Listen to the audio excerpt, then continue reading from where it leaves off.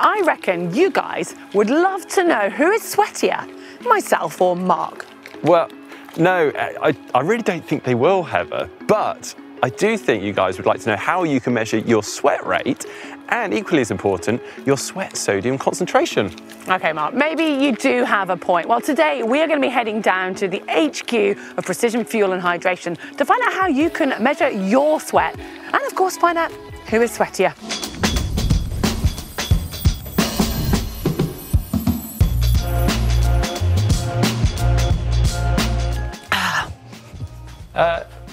You doing? Why are you so sweaty? I've just been for a hard run. I- have got my sweat with me. This is a, a, very leisurely affair, Heather. You don't need to be sweaty. You're kidding me. No. Come on, go get yourself sorted. We're almost done here.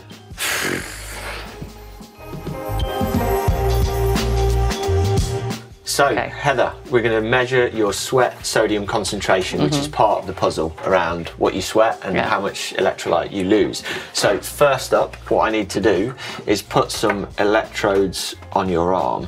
I don't mind which one. Either You can, okay, yeah, that one's closer. Can, yeah, there we go. So these, I'm going to put a little bit of water on there as well. And what that's going to do is increase the conductivity of the electricity we're going to put through, and also it's going to make sure that we wash off any residual sweat or anything that's on the skin already. So am I the first person to rock up and think that I needed to bring you my sweat? Definitely not. No, we've had offers for people to bring little bottles of sweat. Uh, and then people always ask, what kit do I need? How are you going to make me exercise? But actually, for this test, no exercise required. And that's Brilliant. because the, the chemical that's in those discs stimulates your sweat glands in the same way that when you get hot, your brain sends neurotransmitters to your sweat glands to cause them to produce sweat. We've put a little bit of that chemical into the skin, okay. and then that will make you sweat just in just, that I'm tiny not start area. pouring down no, my face again. No, if okay. you do, that's just nerves and stress. I want to win. What, yeah. What's winning? I want to win yeah. this test. no, it's purely, this is purely just um, physiological stimulation of the sweat glands in that area. And then this little device, which has got some tubing in there and a hole in the bottom, we're going to put that on top for a few minutes to collect the sweat that's produced. Okay. And that's a really clean way of collecting sweat where we don't get any contamination and also we don't get any evaporation because obviously if you're collecting sweat and it's evaporating that can cause problems with the results of a test like this. Once we've got that sweat it's going to go it, the tubing is going to go onto there and be run through the machine to give us an idea of the sweat sodium concentration. And the, the magic that happens in here is uh, it's a conductivity analyzer. So that's measuring the resistance to the flow of electricity, which changes okay. because electrolytes are charged mm -hmm. particles, so they'll affect the conductivity of the sweat. There's a lot of variables when you're collecting sweat. One of them is the body part you take it from. There'll be day, slight day-to-day variances mm -hmm. and that mm-hmm. sort of thing, but we've settled on this method, this body site, and there's quite a lot of validation behind it. There's there are arguments for testing sweat on different parts of the body. There's arguments for doing multiple sweat tests and those sort of things, but in general, a single sweat test is all most people need because it puts you in the right zone. It yeah. determines basically whether you're low, medium, high, or very high. Okay. And that's what's most important. It's a bit like deciding whether you're a small, medium, large, or extra large t-shirt. Mm, hope that doesn't change too much. Exactly. Yeah. exactly. and, it, and it honestly doesn't. It doesn't tend to with with sweat most yeah. of the time. There's a big genetic component to this in terms mm. of how your sweat glands function, and that's the predominant driver of it. And it's not going to make any difference if I had like a really salty meal last night. Not really, no, because what happens in the body then is your kidneys take yeah, care of that. Exactly. So you will pee out extra sodium, yeah. and then if you had abstained from eating any salt for mm. the last few days, what we'd see is if we measured urine, you would be not peeing out any sodium at all because yeah. your body would be trying to conserve it, but it wouldn't really show up in the sweat. It might do after multiple days mm. of abstinence, or if you ate so much salt that the body was trying to get rid of a massive excess. But for most people, if your diet's relatively normal and stable, you're not going to see a big difference. Yeah. So what I'm going to do now is take the, the electrodes off. First of all, I'll take the black one off and you see there's not much sweat happening under that one. Oh, we're going to have a sweaty patch here, are we? we hopefully we should see a little bit of sweat. There we go. Yeah, a little oh. bit of sweat being produced. And that, that will keep sweating there for about half an hour or so. So take the first bit of sweat away and then pop this over the top. And this doesn't represent rate at all, so how quickly that fills doesn't have any. No, I think it does actually, although there's not necessarily a really exact correlation Okay. you can make. You, it's very difficult to extrapolate sweat rate for your whole body from a tiny surface area. But what we do know for sure is that in general, people who fill this collector more quickly Mm. tend to have a higher overall sweat rate.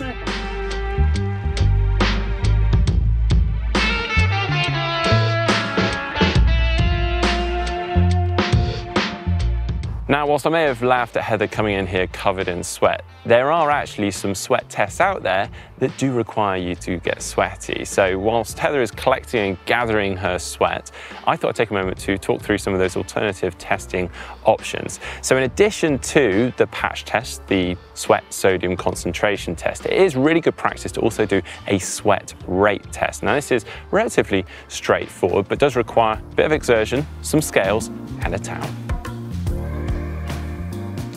Start by making sure that you're being for a pee, and then stand on the scales and record your weight, ideally with no clothes on to keep it as accurate as possible. If this isn't possible, maybe because it's a little public, you can weigh yourself with your clothes on, but later on weigh all your clothing and subtract that.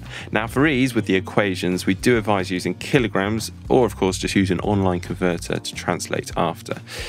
Do your training session or even a race and record exactly how much you drink. The best way to do this, if using all your own drinks, is to weigh your bottles before and after and work out the difference. But to help, one milliliter roughly equals one gram. Post exercise or race, dry yourself down, remove all your clothes, if you can, and weigh yourself. Take your pre exercise weight and subtract your post exercise weight to get your weight loss during the session. Then remember that number from your fluid consumption. You're going to need that now. So we're almost there. Add together your volume of fluid consumed with your weight loss and divide it by the time you were exercising. Now, of course, if this all sounds a bit too much, then we'd recommend heading on over to the Precision Fuel and Hydration website and using their online spreadsheet that will do all the hard work for you. And we've included a link for that in the description just down below. Note that it is advised that you try not to go for a pee during these tests because that will obviously start to skew the results.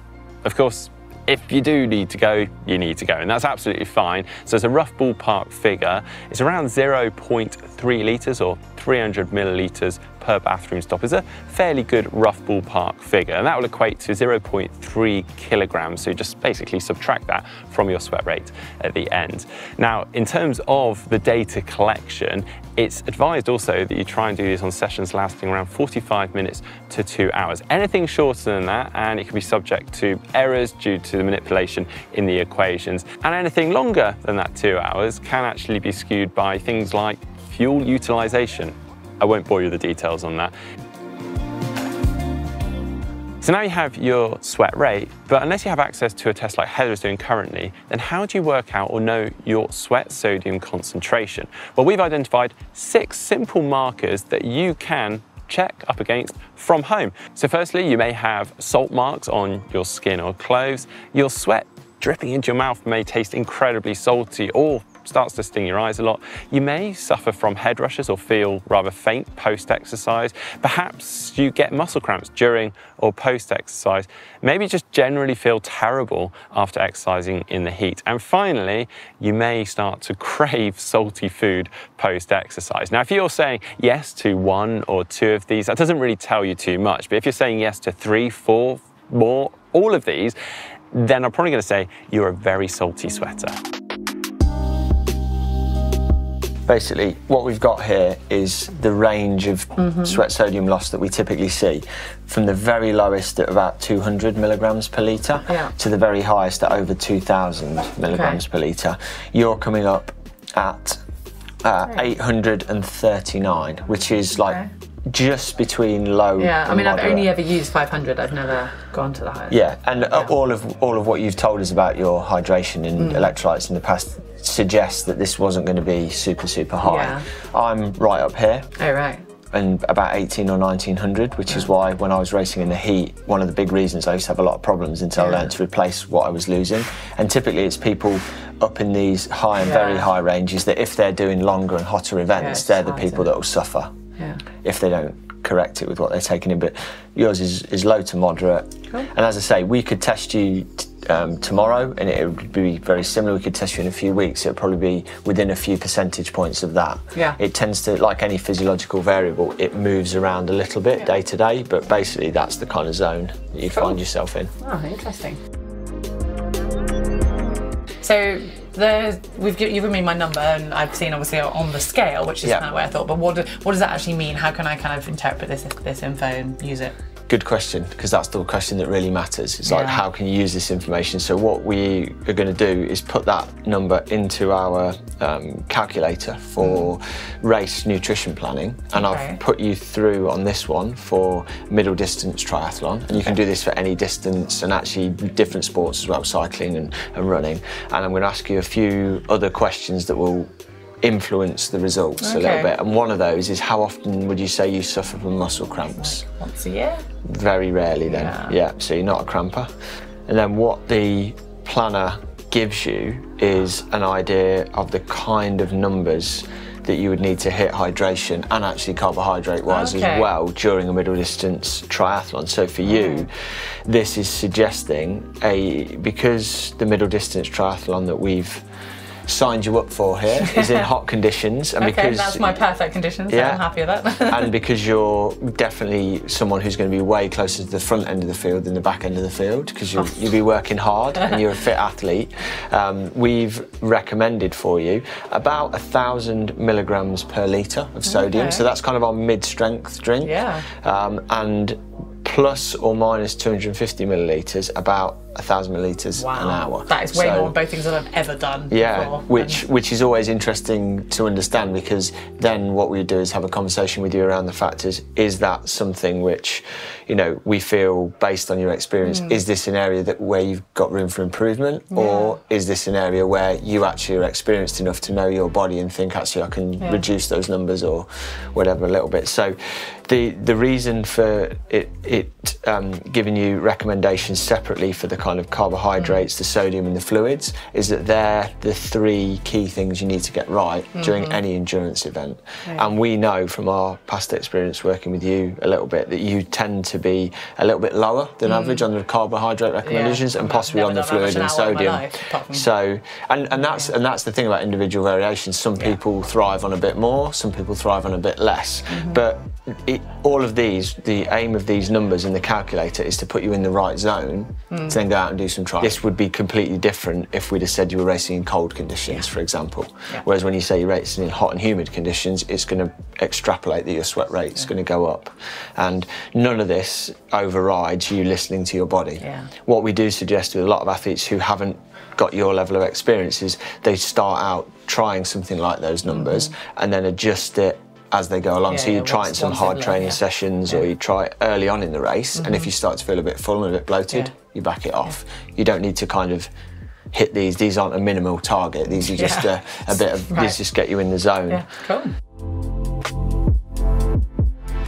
Now, we're not done there because actually there's apparently a couple of other testing options and methods out there and available. So, one is patch testing. Now, this isn't too dissimilar to the testing that Heather and I have just done, but this has an adhesive, absorbent patch that can be applied put on to various points on your body. And the big benefit of this is that you leave them on during exercise. Then afterwards, they're taken off, they're squeezed and syringed out, and then that fluid and sweat is analysed so you can see the sweat composition.